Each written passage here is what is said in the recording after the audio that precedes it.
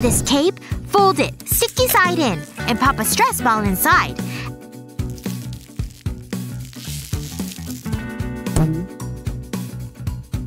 Add a smaller version on top.